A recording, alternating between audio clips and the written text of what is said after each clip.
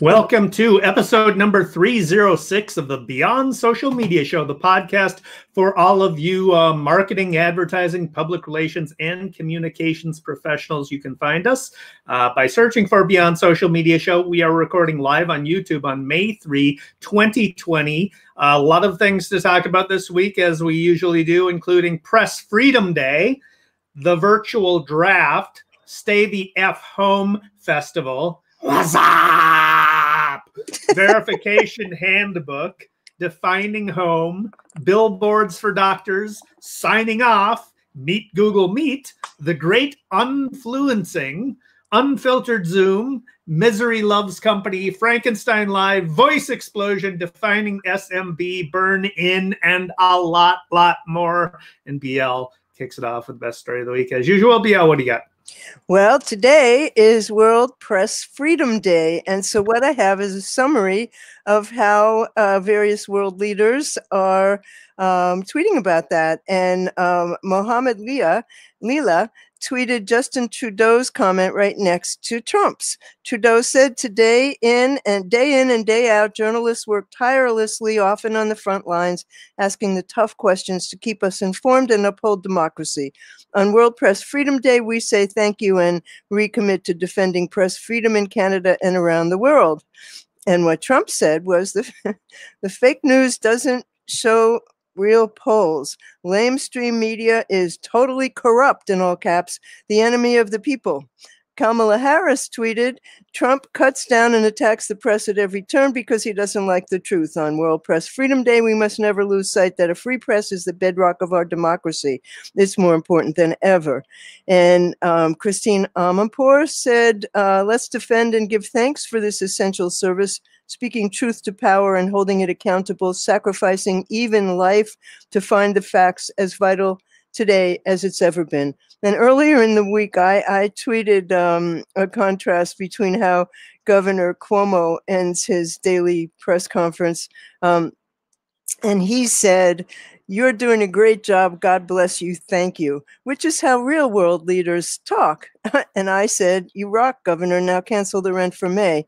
Um, not coincidentally, today is also National Trump Twitter Blackout Day and Go Joe Day, where thousands of people are uh, tweeting about uh, why they like Joe Biden. uh, go free press. Yay, yay. all, all, for that. um, so one, uh, the, the, uh, my big one was not surprisingly about football um, because I have football. Yeah, exactly. I have an opportunity to talk about it. It's last week the NFL held its uh, held its um, NFL draft annual dra- annual amateur draft, and uh, a lot of people were like, "How are they going to do this?" Because they had to do it all virtually. Um, they did it all with with video teleconferencing. Uh, you put in the general manager and the head coach and all of their scouting uh, scouting team and uh, across 32 teams in the league. And then all of these amateur drafts they had video cameras in the uh, in the um, players who were being drafted in their homes so you could see their reactions. They had video cameras in the homes of the GMs and the head, head coaches so you could see them deliberating. Uh, the uh, league commissioner announced the draft announced the draft choices and the draft picks and everything, and it actually went off flawlessly. It was pretty amazing. Um, it was almost it was almost inviting something to go wrong, but nothing did.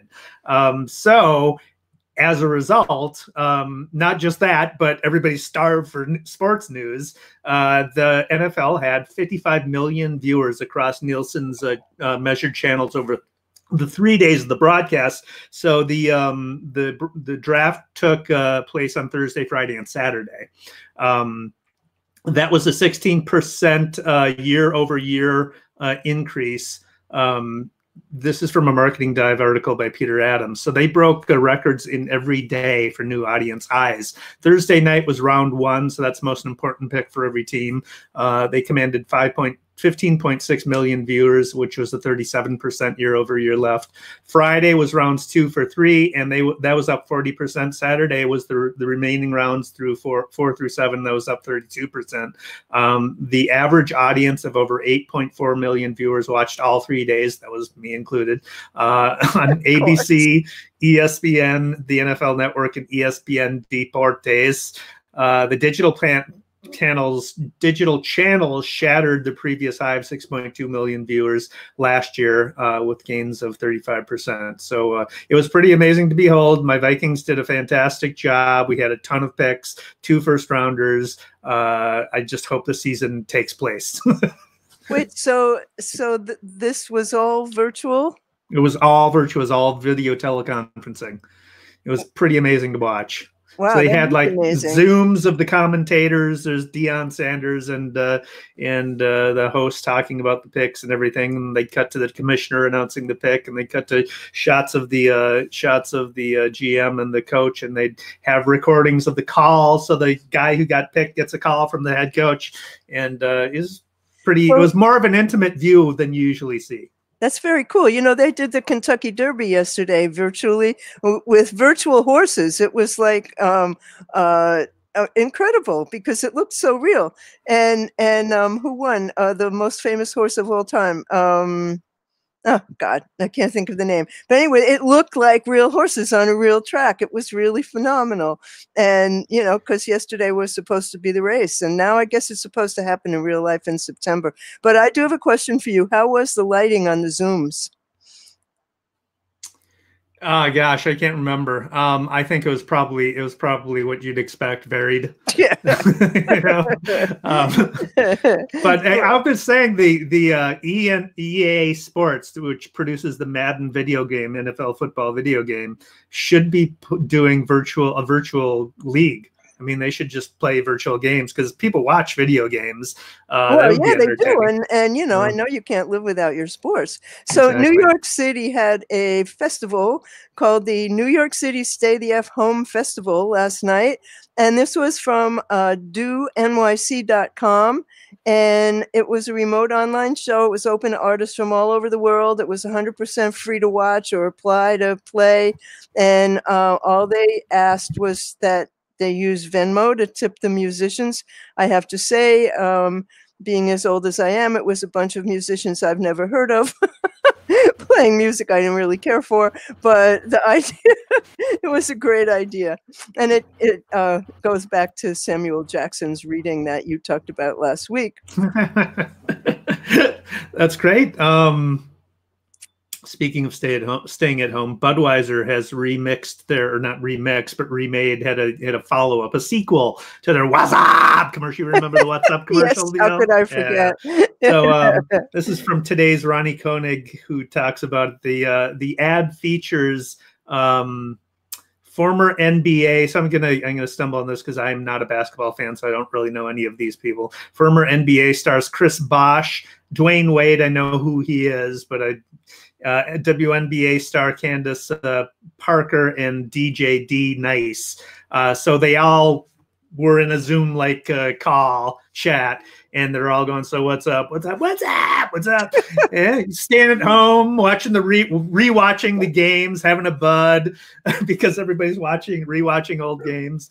Uh, but it's very cleverly done, and then it closed with a message uh, that said, "Checking in. That's what's up." And then it had a number for the Salvation Army for people who need to talk to someone. So it was it was really well done and a and a good way to keep uh, their. Well, talking about staying at home, um, I had a virtual visit with my eye doctor the other day. I said I need computer glasses. And so he uh, sent me a prescription by email. I then went to Warby Parker. I picked out these frames and uh, gave them my prescription. And what do you know? They arrived yesterday and now I can see, and I didn't have to leave my house to do any of this. Pretty amazing. They look great. Thanks. That's great. Is that one of your stories? No, I, I, just you were talking about staying at home, so I just okay, so here's my story. Um, this um, new verification handbook for disinformation and media manipulation is now online, available to everyone, and it is so important. It's from uh, Data Journalism, which is um, the European Journalism Center, and it it's it's done for journalists, but it's available to everybody. It has knowledge about how to investigate social media accounts, bots, private messaging apps uh, information operations, deep fakes, and all kinds of disinformation and media manipulation. And it is supported by the Craig Newmark Philanthropies. And um, it lets some of the world's best experts teach you how to investigate your information environment online. I cannot think of a more important time for this to be happening. Very good. Great resource. Everybody should avail themselves of it. Our audience, of course, already knows all this stuff. So, well, not all of them. Yeah. um, this is uh, this is there's an Apple TV Plus has a new sh- show. It's a docu series called Home, and it is an exploration of the concept of the living space that we call home. Uh, each episode is a profile of an individual architect uh, they feature the home that the architect built and why they so the architect discusses why they built it that way and it's just incredible there's there's a, a greenhouse home by uh, an architect who lives in I think Norway or someplace that's that's cold uh, often, and uh, he built his home. He built a greenhouse around his home, basically. Oh, I so it's love seventy degrees or nice temperate weather, um, or a, a year round. They grow food in there. It has a filtration system, so they use rainwater and wastewater and refilter it, so that it's it's just completely environmentally sustainable. Um, there's And another beautiful. and beautiful. There's another one of a of a bamboo house. So this this woman built a house entirely out of bamboo. And bamboo apparently it takes like five years to grow bamboo to the point that you can use it as building material. And so it's a much more sustainable source of building material. It's very strong, actually. So it's fascinating. It's an amazing house too. All of these houses are amazing. There's Oh. a uh, a Chicago artist who turns abandoned buildings into kind of creative gathering spaces that uh, that also happen to revitalize neighborhoods in in, in downtown Chicago. Um, it and it's so it's so it's it's that it's a rumination on the idea of what what home means. It's uh, profiles of the architects and their beautiful homes, uh, and it's also it's a celebration of creativity and ingenuity because it's just amazing some of the things they've done. So can't recommend it highly. Higher. And it's so much fun to look at other people's houses. I mean, that's always a much better thing. than yours. Yeah, always. So um, this is just a really quick one. Um, Ads of the World um, is the source, and uh, it's just a, a series of billboards that are in support of doctors. It's simple, it's powerful, it's outdoor billboards by McCann. It's just beautiful, huge images. It, it's I'll put a link in the show notes. It's just a, a beautiful and wonderful tribute. Very cool. Um, I came across this article this uh, by Nicholas uh, Gürke. I don't know how to pronounce his German name. I can't pronounce it. It has an umlaut on it, so I'm having difficulty. uh, uh, from the Next Web, and uh, it had some data in there that I'd already that I'd come across, but it had a, a- an interesting um, comment on it that uh, basically it's about email signature sign off. So what you say when you close on an email. Um, it, it, I'm going to quote from the article. It says Nobel Prize winning psychologist Daniel Kahneman found evidence across several studies for something he dubbed the peak end rule. And what is that? Dave, at their most intense moments and right before they end. So when you sign off, then it, it also cites this this uh, boomerang plugin, a boomerang plugin for Gmail, analyzed uh, 350,000 email closings in 2017 and found um, that the likelihood of someone responding went up from 22 to 38 percent uh, for three phrases uh, compared to the baseline. So those phrases are thanks in advance which uh, had a 65.7 absolute response rate. Thanks had a 63% response rate, and thank you had a 57.9% response rate. Um, conversely, though, the ones that didn't perform uh, so well were Cheers, Kind Regards, Regards, Best Regards, and Best. Um, Those are so, old. They are. I use best and best regards a lot when I don't expect anything from people. I use thanks if they've done something for me, and I use thanks uh, in advance when I expect them to do something for me, right? I use thanks in advance ever since you told me about it.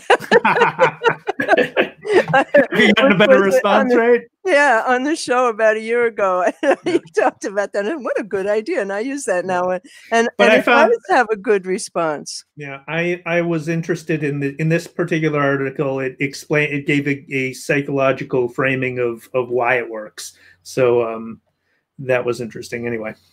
Well, that is interesting. So, um, you know, everybody's streaming their brains out right now, and uh, Google has made it possible for anybody with a Google account uh, to be able to use Google Meet, which used to be Google Hangouts, typical of Google. Uh, Google Meet video conferencing for free meetings that can last any amount of time and have up to 100 people. So this is from a Verge story by Dieter Bohn, and um, it just um, renamed it and added it to Gmail earlier this month, and now anybody can use it. Uh, it was available only to G Suite customers, and as a G Suite customer, you pay $99 a year and you get all these features. So um, that Google account uh, require, you know, requirement's a tough one. So now you just uh, can click a link and join a meeting, and but like Google, you have to be logged into Google. Um, but that's so meetings can be better controlled by their hosts and hopefully eliminate the possibility of Zoom bombing. Uh, Google also has other safety measures. People uh, who are not explicitly added to a meeting via calendar invite have to be entered into a green room when they uh, try to join a meeting. They only get let in when the host approves them. The free version doesn't offer landline dial-in numbers for meetings. Um, now, Zoom updated its security and added transcription, and Google is seemingly hoping that there's still a huge opening for everybody like you who distrust Zoom. So, as usual, anything Google does is a bit confusing. So, um, there's also a new tier for G Suite that's called G Suite Essentials that um, includes Meet and Google Drive, but not Gmail for some odd reason. Um, all current G Suite customers still have free access to Meet. And uh, lastly, Meet's going to be integrated into Gmail, both the G Suite version and the regular consumer address, in the same way that um, Microsoft has leveraged its Office dominance to drive people into Teams.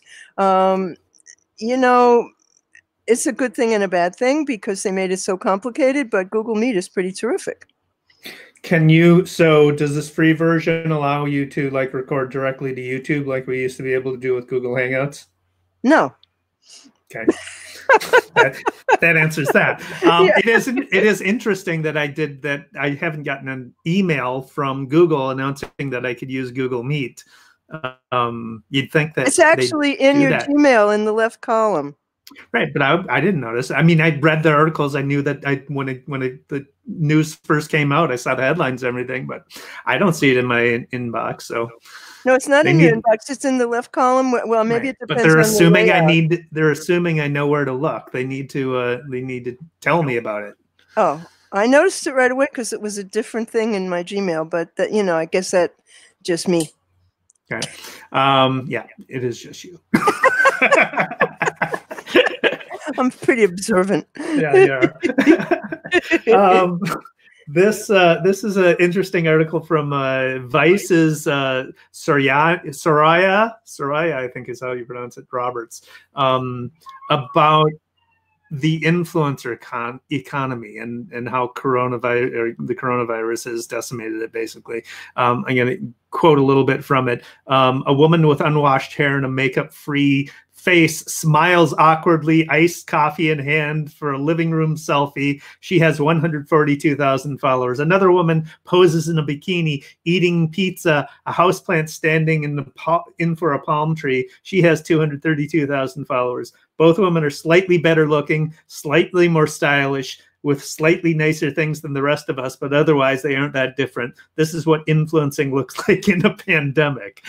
Um, and then it goes on. As brands do, uh, as brands drop sponsors shed payments uh, for links and uh, suspended product delivery it's virtually impossible to predict what will become of the influencers just as it's impossible to become uh, predict what will become of any of us. Uh, in the meantime so much wealth sucked out of the market so much luxury sucked out of our lives even with most privileged influencers in the world have slipped closer if only slightly uh, to what they once were people just like the rest of us. Um, it's an interesting article because it does it, it, it does it, it doesn't say uh, the bubbles burst on the influencer economy which kind of it has uh, but not necessarily entirely because the argument the argument of the article is that that you're getting a more real look at, at these people's lives which you know you should have probably been about. probably should have been getting all along. But yeah and traveler traveler influencers have no work. There's no nobody's traveling. Um, music influencers. There's no concerts. I guess you could work on you know these virtual concerts and everything, but uh, but there's no festivals or anything. Foodies can't go to restaurants. Um, so unless they know how to cook. well, a lot of people are doing that. They're cooking in in uh, Instagram, and and uh, you know that's happening a lot. But uh, you know, this is a time that everybody's having a hard time. So I'm kind of not surprised. Well, it's kind of a good thing too because that was there was a lot of scamming going on. I think in the influencer uh, industry, quote unquote. Um, and we should say that there's a world of difference between the influencers, capital I, where there's beautiful people in beautiful places doing beautiful things that you can possibly ever have that experience. Um, so completely aspirational and unrealistic. And then there's influencers who are thought leaders. They're B2B influencers. They're, you know, they're people who PR people like us have been reaching out to all the time, many years before the quote unquote influencers came along, and that still works. Yeah, well, of course that still works because that's that's an honest thing. Yeah. So, um, speaking of honesty, uh, this is hilarious. Um, this is the Zoom call that you'd be taking part in if there was no filter whatsoever. It's from an Ad Age Creativity article by Alexandra Jardine, who always writes really fun things. Um, the Honest Zoom meeting is by Don't Panic. It's a three-way discussion between a totally unlikable boss and two employees in what seems like an agency. Um, it was written, acted, and shot on Zoom. And the honcho starts out by acting, Has anything happened in your sad little lives? And then it's downhill from there um, with confessions about harrowing porn and personal insults and swearing kids interrupting and employees WhatsApping bitchy comments on the side and, and someone pretending their screen's frozen in order to hide the fact that they're talking garbage. And um, viewers may or may not wince in recognition of this, but uh, the team um, and the team comes up with a stupid brand initiative about coronavirus, and it's uncomfortably close to the truth. It's really quite hilarious. well, this one is pretty good too. This is uh, an entertaining piece as well. Um, I found this from IO9's Julie Muncy, who posted uh, and wrote about um, a, a short film um, about an unemployed special effect. So these, everybody's unemployed these days. Misery loves company, right? But it's so bad that even special effects are out of work. We'll just put, it, put embedded that in the show notes so people can watch it. It's it's pretty funny. This is also a show. Um, this is Frankenstein Live, National Theater Company's production of Frankenstein. Um, it's a it's an a interpretation of Frankenstein. It has Benedict Cumberbatch as Victor Frankenstein and Jonny Lee Miller as the creature. It's available for one week this week on YouTube. And um, this the source of this is uh, Time In, which is Time In during the pandemic. Norm, normally it's called Time Out, but um, the National Theater's production uh, it, what's so cool about it is that also for the next seven days, there's a cast swapped production with both actors in opposite roles, so you can compare and contrast. It's very fun. Yeah, wow, that's cool. yeah. Oh. Um, this is uh, this is more evidence that voice uh, is is our future. This is from Chuck Martin at Media Post, who writes that um, that about a Juniper study um, of that consumers will interact with voice assistants on 8.4 billion devices by 2024 they predict uh, that would be a growth of 113% um, compared to 4.2 billion uh, that are expected by the end of this year. The fastest growth is going to occur in connected TV based voice assistants, with 49% uh, of connected TV voice assistants are expected to be in use in 2024. So uh, interesting data there. Um, I still don't have one. I don't have any more good news. Do you? You do. You have Siri. You have one. You just don't want to admit it. no, yeah. I connected TV. I meant. Ah, um, okay. Okay. So are we uh, into bad news? We are. Go ahead. So this just annoyed me. Um, this from an Ad Age story by George Slef, I think it's Slefo. Um, Publicis uh, is now offering the Pact, which offers clients a 100% refund uh, should they fail to deliver on specific business outcomes. The long-term implication, the article said, uh, could result in a bit of reviewing in how the ad industry works, according to Jay Pattisall, who's an, an, an agency analyst at Forrester. So the pact applies only to small and medium businesses, which um, CEO Arthur Sadoun describes as companies earning between 10 million and 1 billion in revenue. Excuse me, when did those get to be small and medium businesses? On my planet, that is not what we are. So um, clients using the program tell Publicis what their key performance indicators are, and uh, like a specific increase in sales, a particular coupon redemption rate, or a new customer acquisition target. Um, but clients have to spend, and this doesn't make sense to me. This is not a lot of money considering what we're talking about. The clients have to spend $75,000 in advertising over the course of three months, and the results are committed to being delivered at the end of the campaign with um, some measurements in between.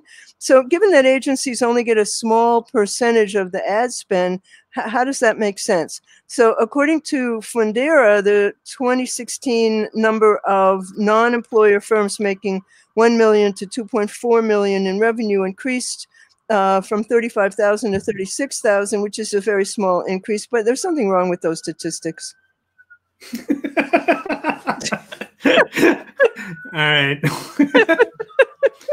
um, here's something scary to think. So uh, I am often accused of uh, deliberately scaring the shit out of people uh, because Boo. I talk because I talk about all the I I talk about all the the technology that's coming down the pike and how it's going to change things and everything um, because that fascinates me. But you know, sometimes it's true. I do deliberately try and scare the shit out of people. This probably is a case in point. Um, this is from a protocol article by Lauren Hepler which is a fascinating uh, full read.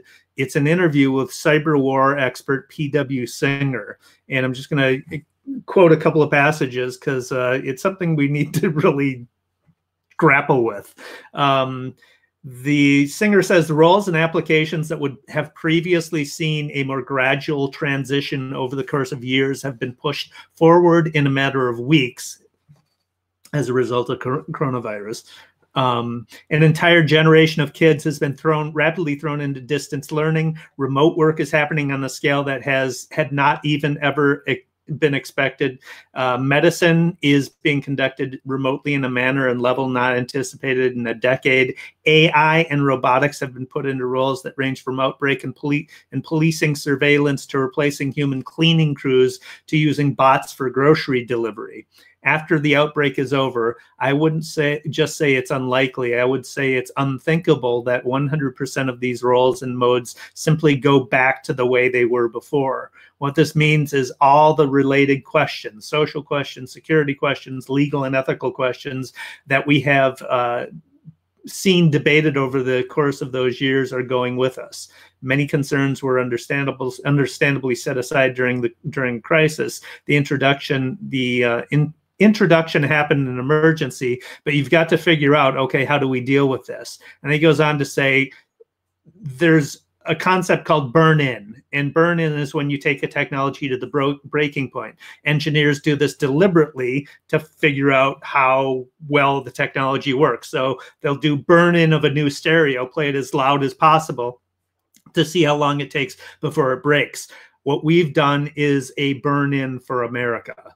So that's scary. necessity being the mother of invention and all of that you know and and it, and we're not going back to how it used to be so many things are changing now and whether we like it or not and many of them are things that are not very likable but uh, you know what, what's happened i mean the the implications of all of this you know uh, are kids going to go back to college or they're going to take a year off next year because is virtual learning really worth paying all that money for? You know how can i mean there, there are just so many things that have changed to such a huge degree and they're not going back. Well i mean during times of you know during times of uh, rapid technological um, rev- innovation and revolution there are con- there are always disruptions in society that are huge. I mean, think about so look at all the office space that's going to be that's not really eh, needed anymore. Yeah, exactly. I mean, New York is full of towers of that are that are you know going to be empty, and what do you do with them? And what do you do with the people who own those? And what do you? I mean, you know, it's just there's a well, lot of things we haven't thought about we're in a mess. There's no two ways about it. And yesterday I was talking to a friend who said, ah, I'm not worried about this virus. The media's over reporting it. It's really not a big deal. I'm like, okay, well, on your planet, that's that's fine. Um, so uh, speaking of things that never change, um, this is so funny because it came from his ex-wife. Alex Jones says he'll eat his neighbors if the pandemic continues if the lockdown continues. And the, this resurfaced in a segment from his radio show. Uh, and he explained in graphic detail how he would kill and cook the family next door if the coronavirus lockdown continues.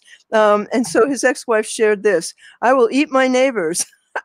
I won't have to for a few years because I got food and stuff, but I'm literally looking at my neighbors now going, I'm ready to hang them and gut them and skin them and chop them up. Holy camole.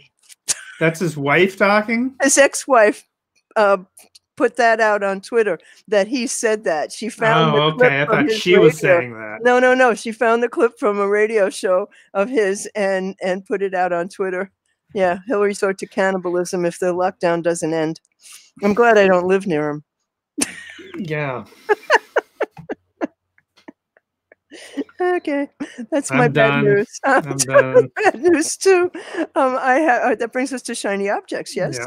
This is really kind of interesting. I noticed this a couple weeks ago. The New Yorker uh, now has in their recommendations for things to do each week. They have dance and and art and theater and movies. Well, not theater anymore, uh, except that that which is streaming. But now they have podcast recommendations, and they're really interesting, meaty ones, and they're listed in each issue. Usually just one or two, but um, I, I'll put a link to it in the show notes. It's really quite fascinating that they're doing that. Uh, and they had one from NPR this week. They had one from the Kitchen Sisters, who've apparently been podcasting. Uh, well, they did radio show. Now they're podcasting for you know like 20 years.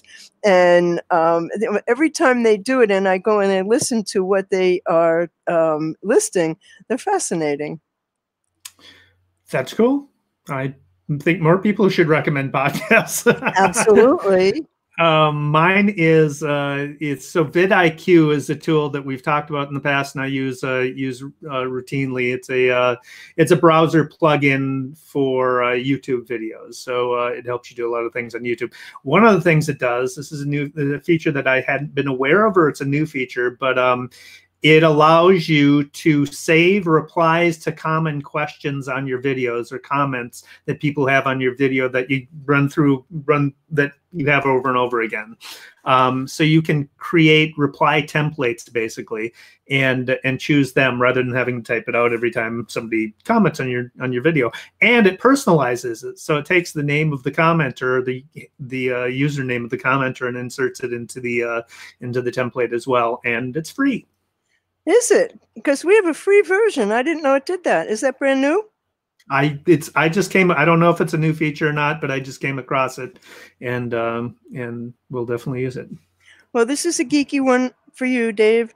Um, this is Bubble, which is a no-code web app. Um, it's how to. It's they have a how to build series, and um, right now it has 20 plus in-depth guides on how you can build custom versions of apps like Facebook, Twitter, Airbnb, and LinkedIn, Tinder, Amazon using point and click visual web editor. Um, it, the the post focus in particular on uh, steps in the data creation that lead to the flow.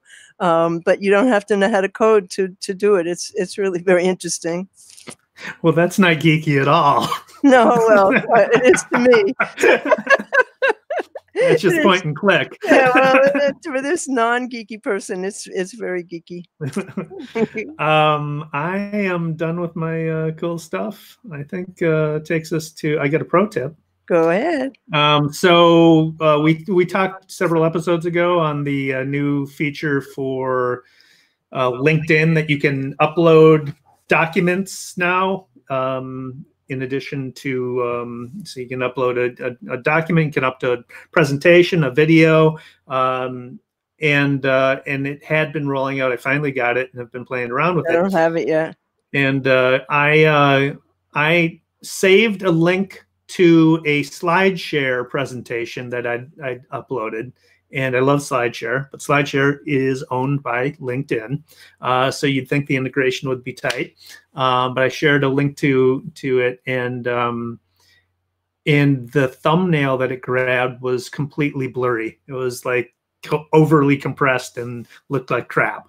So my pro tip is upload your presentations, upload your PDF of your presentation directly to to LinkedIn, and then uh, don't don't share a SlideShare link. Upload it directly, and it'll actually have a high quality uh, thumbnail that'll pull. So it's a bug in their system, but it's an annoying one. They have more than a few, actually. Yeah. so that brings us to the end of uh, episode 306 now. Mm, well, we have uh, some numbers to close it out with. Oh, go um, ahead. This is from uh, ClickZ's Barry Levine, uh, who talks about a, uh, a Conviva report. I want to say coronavirus now for everything yeah. that kind of looks like it. Conviva report that uh, shows, not surprisingly, a big boost in daytime streaming now. Um, it's up 26% in the US and 20% globally. Um, the daytime viewing reflects the stay at home behavior, especially the 10 a.m. to 5 p.m. window, which has increased 39% between March 9 and 23. Uh, the early morning hours are up, also up 26%. Pre prime time rose 20% and the only drop was negligible 2% down was in prime time but we'll share the, share the chart in the show notes so you can send you can uh, see when you should not be doing your live streaming show because there's too much network congestion that's so funny. I mean, I, you know, I know all this stuff is available. I read about it every day. I don't seem to find the time to to do all this, to look at all this stuff, to listen to it. And uh, I cannot tell you where some of the days go. But there's a funny clock. I think I might have sent it to you, where instead of one, two, three numbers, it has Monday, Tuesday, Wednesday, Thursday. You know what? what time is it? Monday. Uh-huh. Because that's how it feels a lot of days. And you know the time it's hard to figure out how, how fast the time goes, even though the months are endless, absolutely endless. But anyhow, that does bring us to the um, the end of episode 306 of the Beyond Social Media Show. And you find us, you just search Beyond Social Media Show. You'll find we're everywhere. Um, there's links to everything we spoke about today at beyondsocialmediashow.com slash 306. I'm here with David Erickson. He's on Twitter as D Erickson, on Instagram as DE Erickson. He's on YouTube as E Strategy, and he blogs at E strategy blog.com. Sometime you have to tell me why there's a hyphen in one and not the other. Um, I bought the non hyphen version when we started doing the show because you never included the hyphen version. I originally had the hyphen version because I have e dash strategy. That was my first domain that I bought for my business, and uh, and then I bought e dash strategy blog.com so they would be the same. They both have a dash in it, and then you never used the hyphen, so I thought, fuck it, I'll just buy the uh, uh, um, non hyphen version and and use that That's as funny. well. So Okay, that's why. well, There you go. Uh, I'm BL Ochman. I'm on Twitter as What's Next. I blog at What's Next Blog. I'm on YouTube as What's Next Blog. I have a website at blochman.com, and my Instagram is not very interesting, but Lucy the Rescue Puppy has a fun Instagram. Beyond Social Media Show is beyondsocialmediashow.com, and on Twitter we are at BS Media Show. We're on Google Podcasts, Apple Podcasts, Spotify, Stitcher, everywhere you get your podcasts. We're there, and we'll be back next week. Thanks for watching. Thanks for watching.